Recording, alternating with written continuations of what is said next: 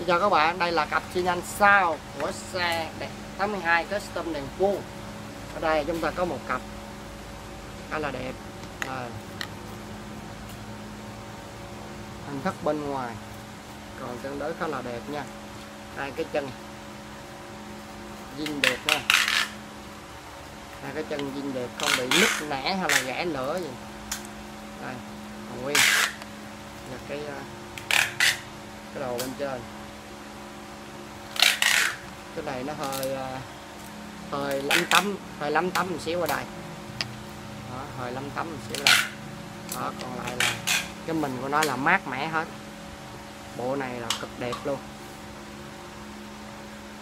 Bộ này của nó là cực đẹp. Đây hơi ghẻ lửa một xíu đây. Còn lại là mát mẻ và đẹp hết nha rồi, phương thức mua hàng là chuyển tiền trước, nhận hàng sau. Không ship COD ok, xin cảm ơn tất cả các bạn. Nhớ bấm vào nút đăng ký để nhận được clip mới nhất nha.